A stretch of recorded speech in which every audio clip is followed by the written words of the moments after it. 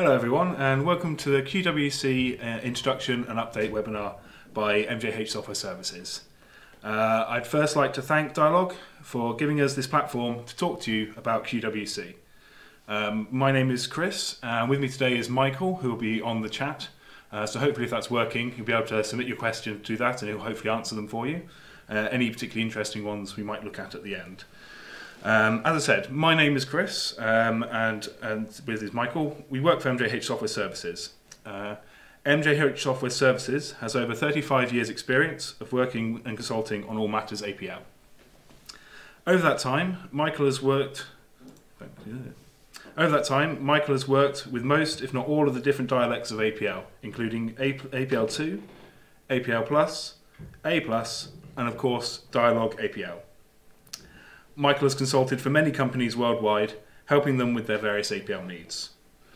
About two years ago, uh, the company expanded, with myself coming on board uh, initially in an apprenticeship role. One of the goals of this expansion uh, was to develop the QWC project from concept to market. Uh, it's been a long road, and one which we're still travelling along, uh, but we're beginning to see a light at the end of the tunnel, uh, and we plan to release a beta version of QWC sometime early, this year, early next year. Okay, so in today's webinar, uh, I will be briefly explaining the origins and some of the basic principles behind QWC. I will be giving a demonstration of some of the features available in the current version of QWC. I'll run through some of the upcoming improvements scheduled for future release and some of the internal changes we are making at MJH Software Services in order to better support this project. I'll also go through our future release plans and we'll be letting you know how you can get involved with the early trials and ultimately to help shape the direction and priorities of this uh, project. But firstly, what is QWC? Well, QWC is a product that we've been uh, developing that emulates the native GUI creation function QuadWC. However, Whereas the GUI creation using QuadWC is limited to the Windows environment, GUIs created using QWC will work cross-platform. One of the main objectives of the QWC project is to emulate QuadWC as closely as possible. We hope that legacy systems will be able to move from QuadWC to QWC literally by replacing the quads with a Q. To this end, I'll be showing you some code um, later on demonstrating this. The, the QWC project doesn't just emulate QuadWC function though. It also has all the associated function, quad functions such as QuadWS, QuadWG, QuadNQ, and we'll be adding even more in future releases such as QuadDQ. QWC should give you, the developer, the ability to create web-based applications without you needing any knowledge of HTML5, JavaScript, CSS, or browser architecture. If you can build it with Dyalog APL, then QWC will be able to do the rest.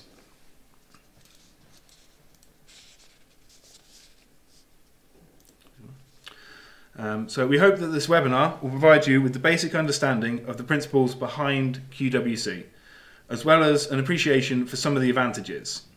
I hope you'll also get an understanding of how GUIs can be built using QWC and how legacy systems using QuadWC can be easily updated.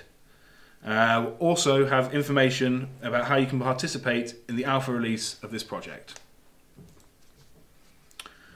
So talk now a little bit about the origins of QWC. And it first started uh, really when Michael presented a talk at the APL conference in Berlin in 2010 on using WPF with Dyalog APL. This talk was focused on the advantage, advantages of using data binding and WPF when creating GUIs, and this was arguably the origins of the QWC project. Initially, there was great enthusiasm for this concept, but a few years later, Microsoft seemed to lose their interest in WPF and XAML, leaving Michael as a lone voice in the wilderness, expounding the advantages of data binding, irrespective of the actual um, platform involved.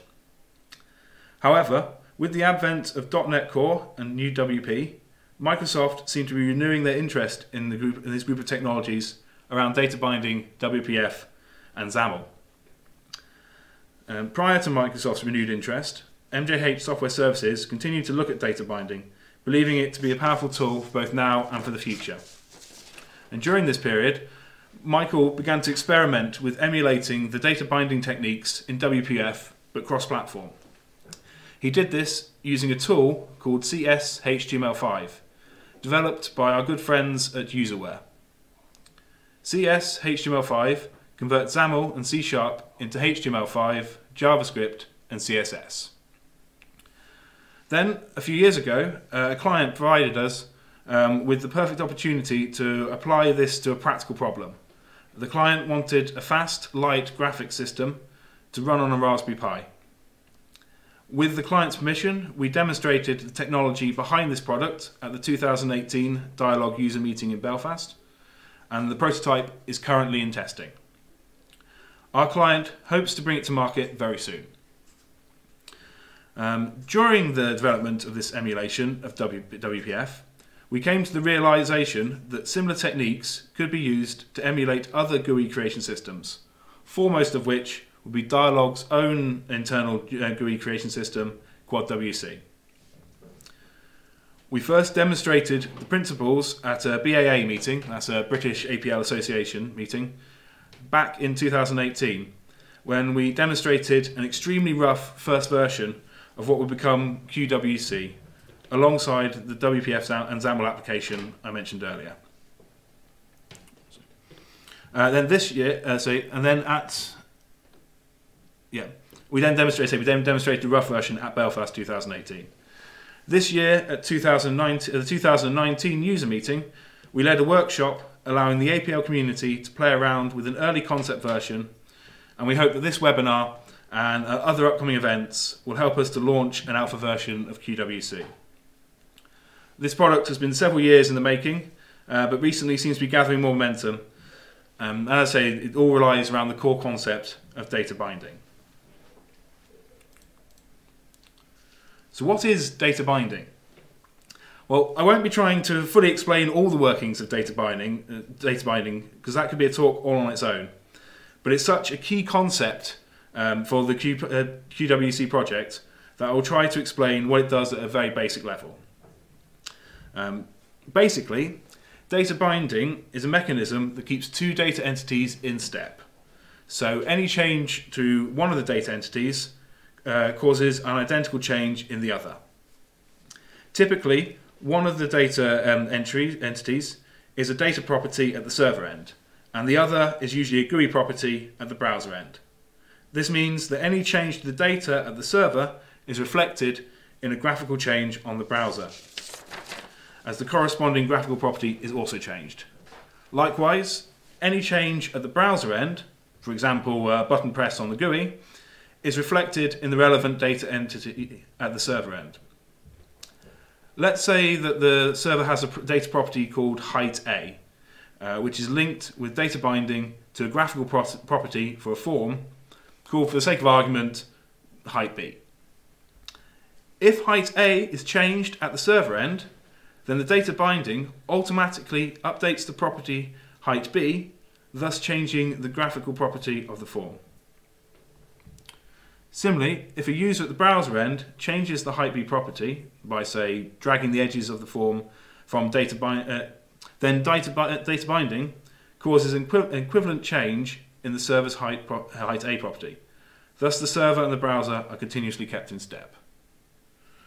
The data binding means that QWC only needs to send the data relating to properties that have changed, rather than resending all the static um, page properties each time.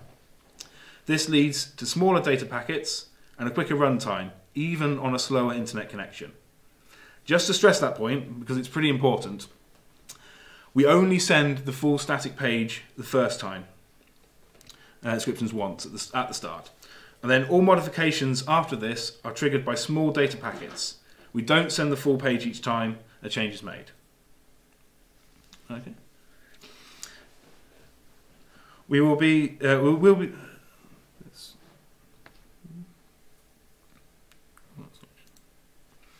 we will be able to emulate all of the Quad WC controls by combining the controls provided by CS HTML5 and Syncfusion. We will also be able to extend the controls beyond those available to Quad WC to include some of the more advanced ones provided by Syncfusion.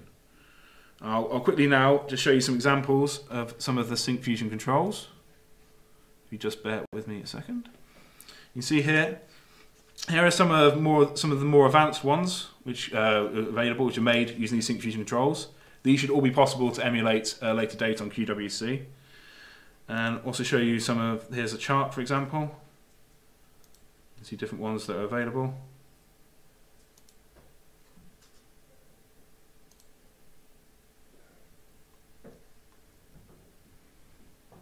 And some 3D ones as well. And I say all these Syncfusion controls are compatible with QWC and will be implemented as the, as the project develops. This is all very nice, but how do you actually implement these controls? And can QWC re really emulate Quad WC with just a character change?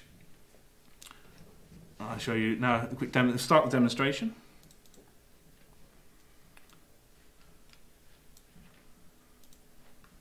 Oh, wrong button, sorry.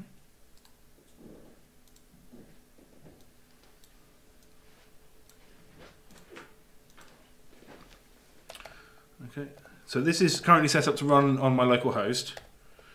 Uh, we have used it with a Linux box and separate on the over the internet itself. So, and you can see here the browser the user one is connected. Okay. Before I start the demonstration, though, I'd like to make a quick uh, caveat. Um, the loading and rendering speed is not as fast as we would like it to be at the moment. Um, so during the demonstration, please bear in mind that we are expecting significant improvements to the speed during the alpha. Uh, I will go into more detail uh, about the planned improvements uh, to speed later in the presentation.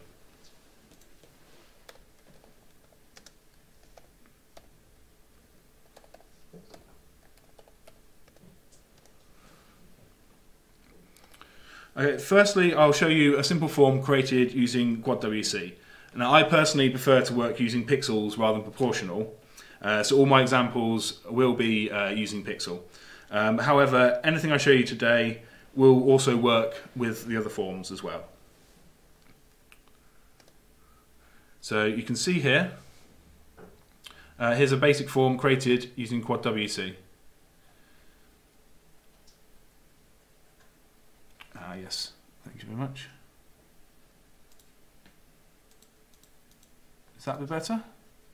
Brilliant, although it's now cutting off slightly, but you get the idea. There's the there's the the quad WC form there. So now if we do the same thing using uh, QW, uh, QWC, first of all again I'm setting it to pixel. And you see here, there, it's created the form on the other side. We've lost the, there's the original form there. And you see how closely they are emulated. I go back to here and you can see from the code itself aside from the only real difference is the Q and the quad there. Everything else looks the same. Okay. Uh, our aim is to replicate, re replicate uh, the functionality of Quad WC as closely as possible.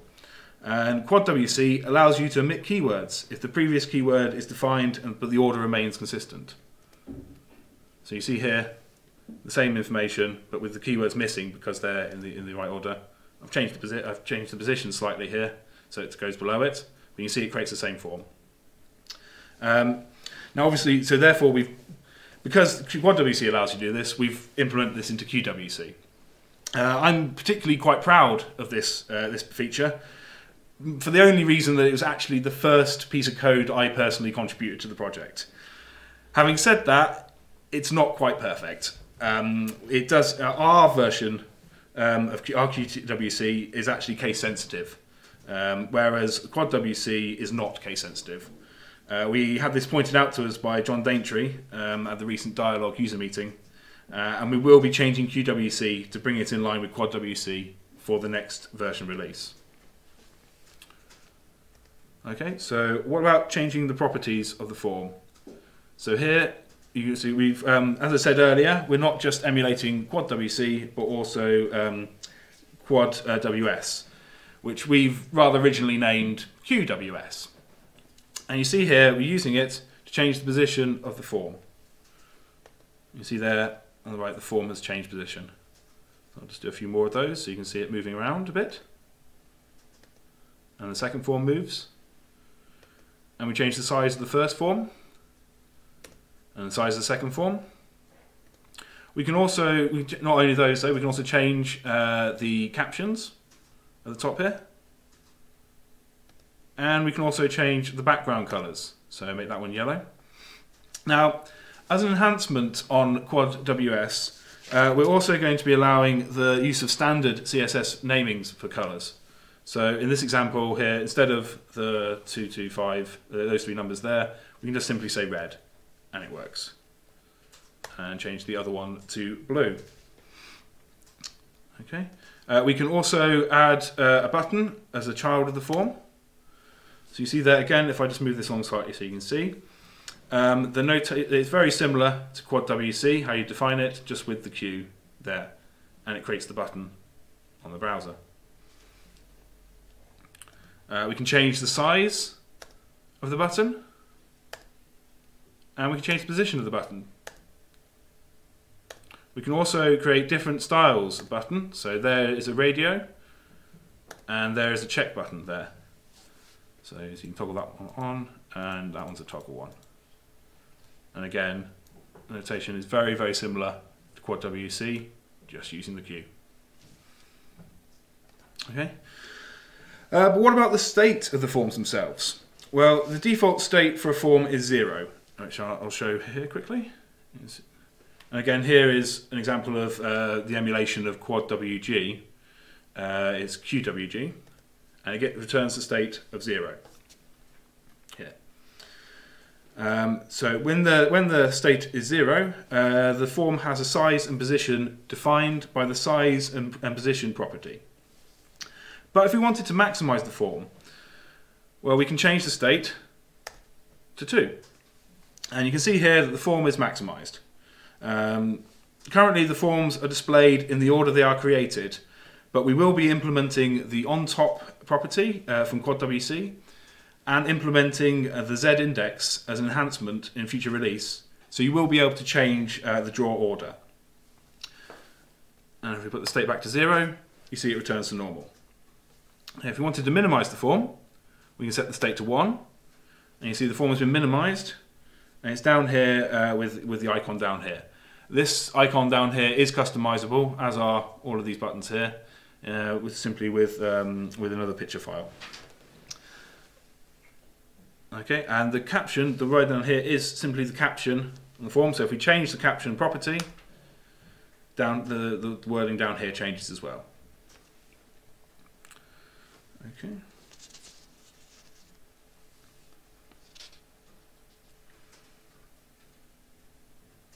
Uh, you can also see the minimize and maximize uh, functions on these buttons. If you so if you click on the minimize one, it returns.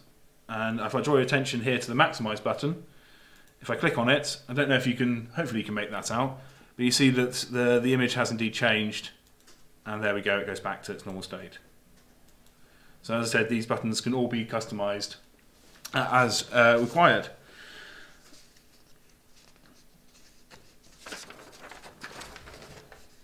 Okay, um, but given that QWC is designed to run, amongst other things, uh, web, web applications, we thought it would be important to include uh, an additional fourth state, um, state 3. You can see here is a full screen state uh, without any borders and without the icons displaying, much like you'd see, you know, how you see, imagine a typical web application to appear.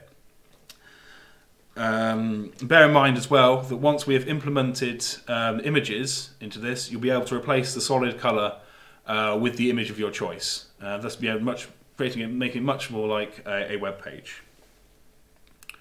Let's Just put that, and then you minimize it again.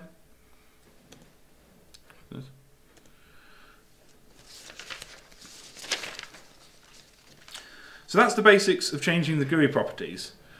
But what about the properties within the browser itself? For example, what if you wanted to change this tab up here? Well, you can, uh, just by changing the caption of the root in the same way you, you would in an APL session. See if this is. So if I do that, hopefully you can see at the top here, this is now changed to MJH app. Um, this shows that QWC has access to the external world of the browser. Uh, any part of the browser that can be accessed with JavaScript, such as the DOM tree, the Chrome around the outside, and the cookies, can now be manipulated um, via QWC.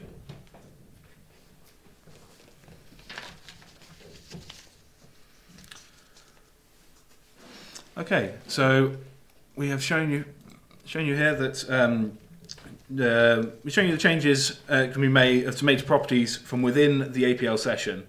Uh, but what about changes at the browser end? Say if a user clicks on a button, for example. Um, well, the callback functions uh, operate just like they would in a, a Quad WC defined GUI. So if I just load up an example here.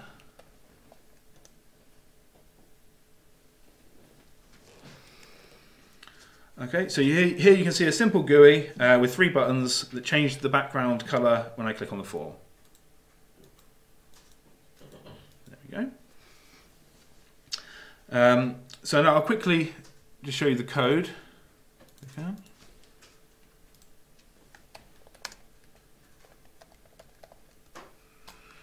Here.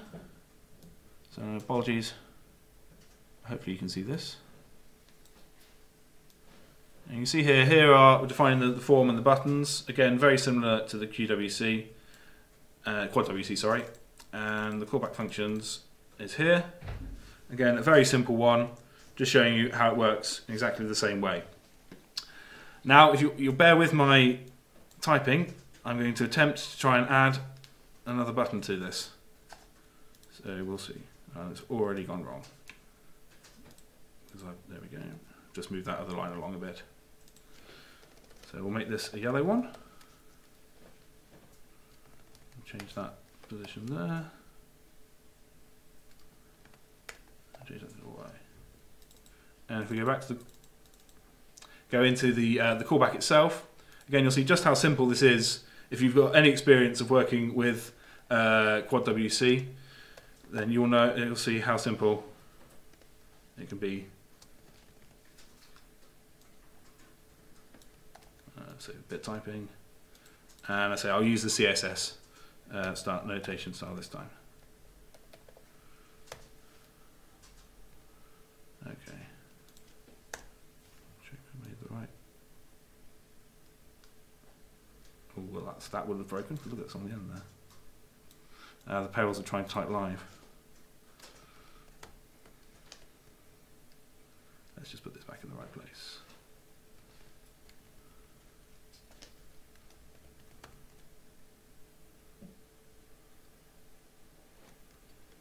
There we go.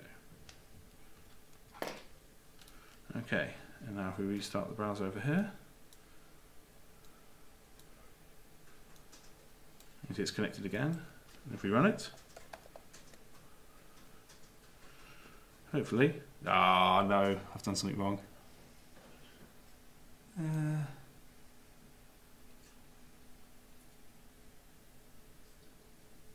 to help paywalls of live demonstrations. What's wrong with that?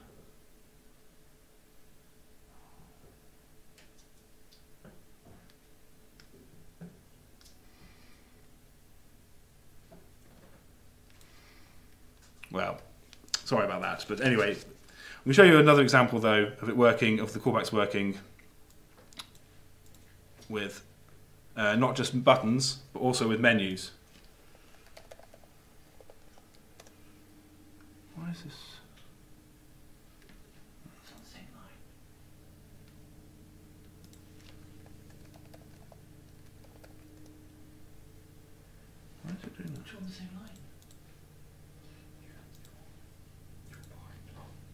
I'm just going to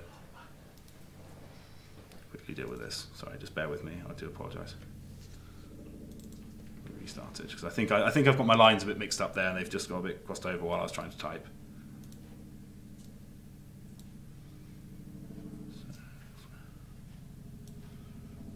I knew that was a bit of a risk trying to do that live, but oh well. So here we are, we'll connect up another session.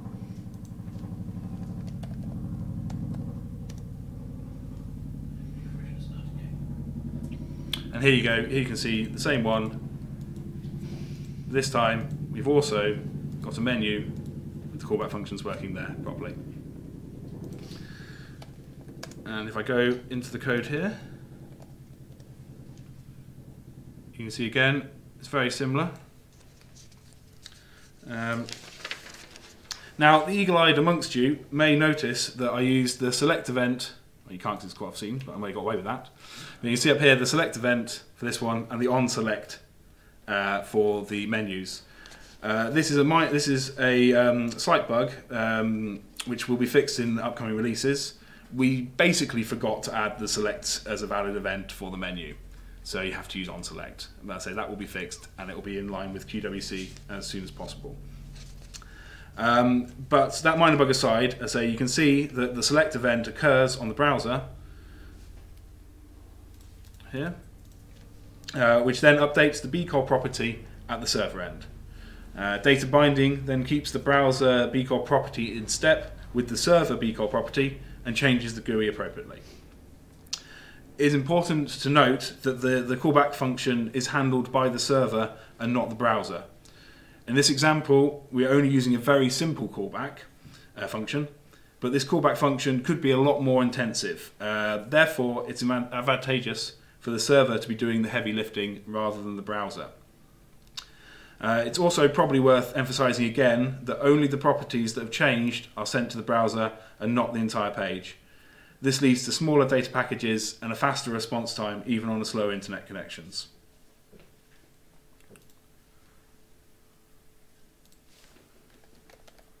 Another example for you here. That shouldn't be on the bottom there.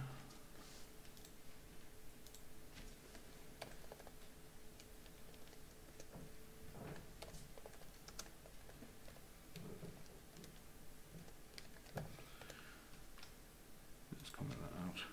That shouldn't be there.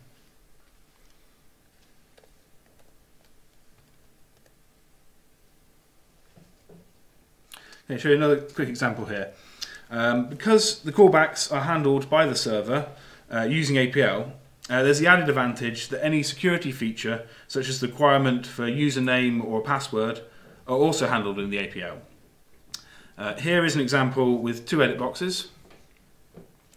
Uh, the username's edit box, the password property is set to default, so you'll simply see what I type in here, as you would, as would in any other edit box. Uh, for this password one, the password property has been set to an asterisk. So whatever I type in here comes up and I say it is obscured. And if you'll notice, whereas we can we can't copy and paste the data out of here.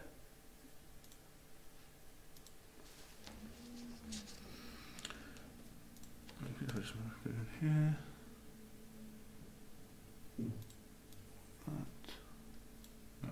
That one. Uh, we can manually we can manually change uh, the password property again using QWS. So I... and there you go. As you can see, the password is now revealed. And if we put it back asterisk, it's hidden again.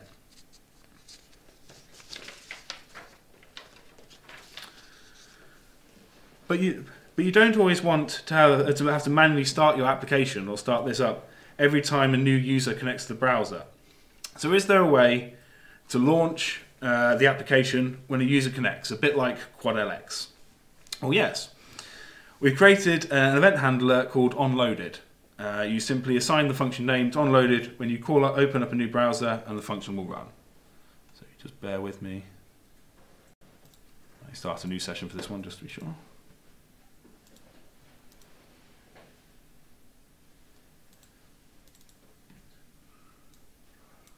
That error there was just me closing down the browser before I closed down the server.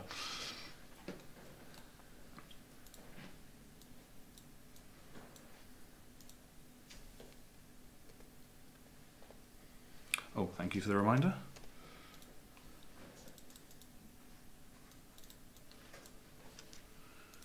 Okay.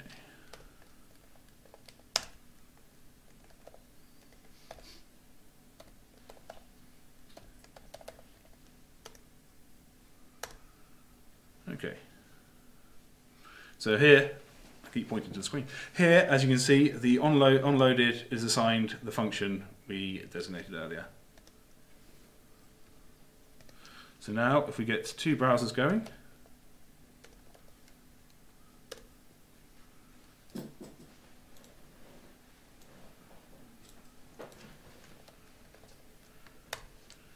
can see as the second one starts, they're both, there you go, opening the application. And you can see if I change column one, the other one is unaffected.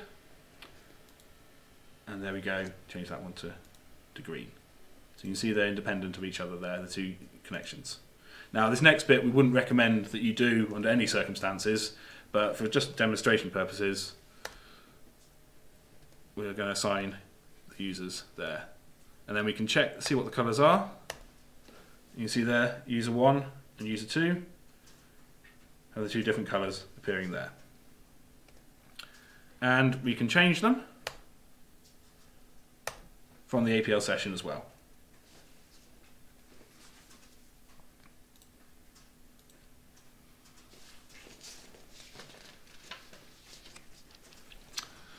Okay, well now for the next bit, uh, I'm going to try showing you something that's a little bit more experimental. We're still working on finalising all of this, um, but it's a bit more complex object uh, is the grid. It's uh, the grid. I'm sure many of you are familiar with. So let's bring that up.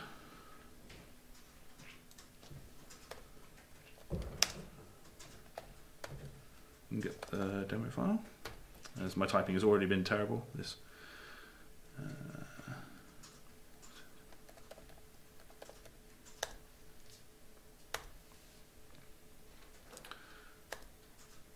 Okay, so here, here we are I'm going to show you quickly, I'm going to quickly create a, a quick grid to show you um, how easy it is and that it is indeed possible. So again, first of all, I will change it to um, pixel. And we create the, the parent form for it to go into create the grid itself, and then we should populate it values. In this case, I've just done a 3 by 3 matrix of, of the integer 1, just to get some data in there. Okay, and we can retrieve the data with the QWG function. You see here, there is the matrix ones. And we can change the values. So over here, you can see between 1 to 9, and if I do this again, you can see it more clearly, hopefully. There we go, we've got I to 9.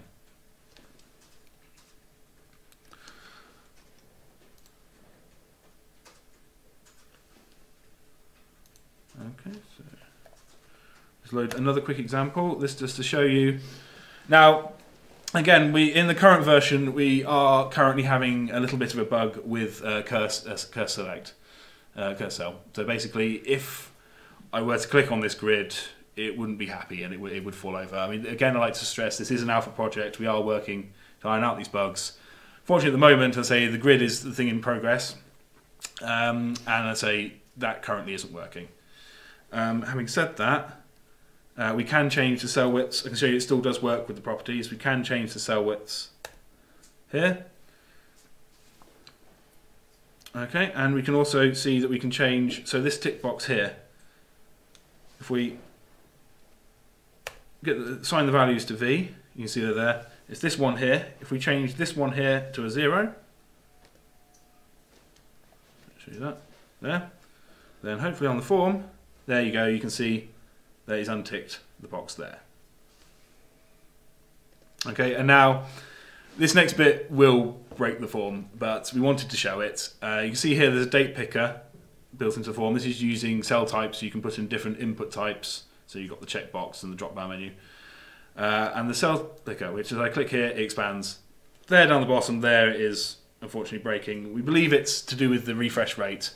Uh, and it's basically it's not refreshing at the right time or something, so it's getting stuck in a loop, and the, and the number of stack panels getting exceeded. Um, but you can see here, that at least you know we can put in the date picker, and it looks quite nice.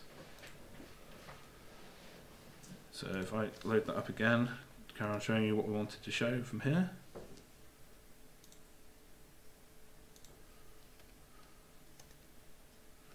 Okay, so yeah, just wanted to show you cell types. So I'm just going to clear the different input methods off this because some of them would mask the color changes that I want to show. So all I've done there is just taken off the different forms of input. Uh, and then if I set bcol with the colors of red and blue, you see here where the original cell types were, it's changed the colors. Now if we wanted to change that, so to, um, again, just like you would in Quad WC, uh, to change uh, to here to a matrix, so we have the different columns in different colors, and you can see there the cell types has changed, and with it the background color. And I just prove that's just a random one, changing it a little bit more. And one last thing to quickly show you. I have to type this one again. This is very new. So, oh, it's ignore me. That sh should be a C. There we go. And then if we do this, you remember the, the chart objects that we saw earlier uh, on the Syncfusion site? Well, I say the individual properties haven't been um, enabled yet and haven't been put into QWC. But it shows you here that we can instantiate the chart, and that's just the, the, the standard placeholder. So it shows you this is one, and again, one of the next things we're working on, uh, just showing you that it is in fact uh, possible. So that's the end of the demonstration part. Back here.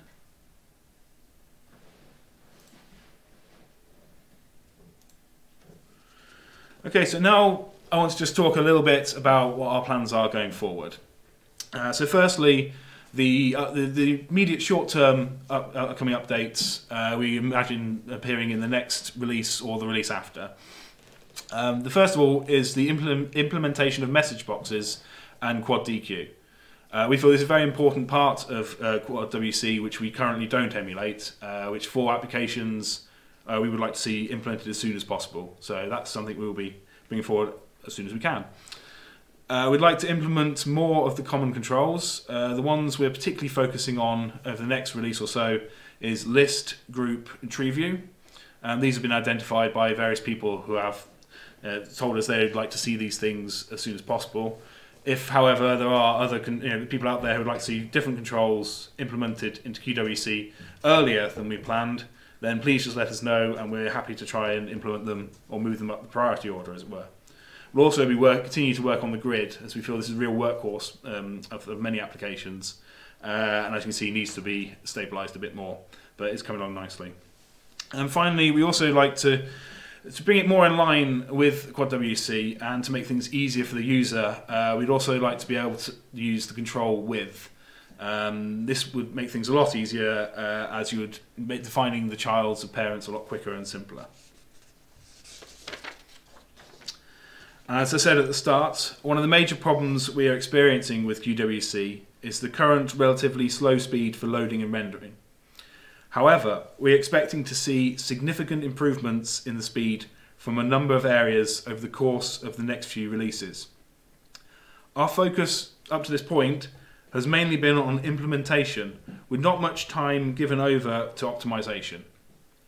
We plan to implement optimizational improvements over the coming months uh, to both the APL and C Sharp code that's underneath it all. On top of that, there is also upcoming updates to some of the key utilities and tools that are critical to the QWC project. Uh, for instance, uh, the release of CSHTML5 version 2. Currently, this version is in alpha, and we are waiting for them to release the beta before implementing it into our product. The idea of having two alphas together is just scary, but as I say, this, this uh, version should be coming out in beta very soon. Um, and it should provide significant improvements to the overall speed. Next year, we are also expecting the release of a WebAssembly uh, version, which will provide even greater speedups. Uh, because WebAssembly will already be compiled to bytecode, it will remove the overhead for the interpreting JavaScript. And WebAssembly will also allow multi-threading in the browser. Uh, another speed improvement will come from the Syncfusion controls. You remember the graphs and things I showed you earlier? Uh, well, we're currently only using the EJ1 versions of the Syncfusion controls. Um, because these are the first version of the controls, Um, they have been written mainly using jQuery and aren't as fast as we would like them to be. Some EJ2 versions of the controls are now available from Syncfusion, and the rest uh, will be available early next year. These new AJ, EJ2 controls are tightly written in JavaScript and will load, render, and run much faster than the current EJ1s. And once the remaining controls have been released by uh, Syncfusion, they will be incorporated into QWC. And I say between our own developments and optimization and the new versions of the underlying tools, we expect to see significant improvements to the overall speed over the next coming months. And we're talking in the region of 50, 100 times faster when all this is said and done. So we're hoping this will be very, very fast by the time we've implemented all this. Now, up until now, this project has been developed alongside our regular consultancy work and other projects without any external support or funding. However, we passionately believe in the potential of this project, and therefore, as I mentioned earlier, with the release of the alpha version and other and with other projects coming near completion, I will be moving over full time to support the QWC. Uh, we hope this will increase the pace of development significantly. Uh, in addition, as part of this new role, I'll be providing a dedicated email support um, for the alpha version of QWC. This means that anyone who is involved with the alpha version will have a direct line uh, for reporting any bugs uh, or requesting uh, that we assign a higher priority to any of the particular controls. Um, our aim is to have almost the entirety of Quad WC um, emulated by the release of the QWC beta. Uh, the underlying structures are all in place, and it's now mainly a matter of introducing and testing the individual controls. Um, also in this new role, I'll be uploading a list of bug fixes and implemented improvements. Um, so throughout the alpha development and into the beta. So you'll be able to should find those on our websites to be able to keep track of the progress we're making. We'll also provide regular updates and also working examples of implemented controls. So you can easily find out you know, working examples of the new features uh, and how you can easily experiment with them. So that's the that's the end of uh, the webinar. Really, I'd just like to quickly say we'll also be having a workshop a week on Friday. Uh, yeah, a big thanks to everyone for watching as well. Uh, and we're having a uh, workshop uh, at the BAA meeting uh, on next week on Friday. this will be down in London. If you want details about any upcoming BAA meetings or the BAA itself, that's the British APL Association, you can find them at this website here. Um, also, like we say, there's a limited alpha version currently available for QWC. If you're interested in taking part in this closed trial, please contact Michael on the below email address there, or talk to him in chat, or you know, basically get in touch with us, and we'll see what we can arrange. And the beta release is provisionally scheduled for early next year.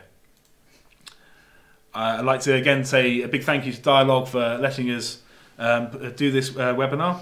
And just a quick plug for the next one, which I say there won't be one in December. The next one is here is the 23rd of January, and it's train spotting in Dyalog APL. It's all about the the train the function train syntax, I'm quite looking forward to. I believe that's Richard Park. So if anyone has any questions in the meantime or would like to talk to us about the upcoming trial, there are contact details the website. Um, the website's a little bit basic at the moment, but again, we'll be improving that over the next month or so. Um, so, yeah, that's it. Thank you very much for listening.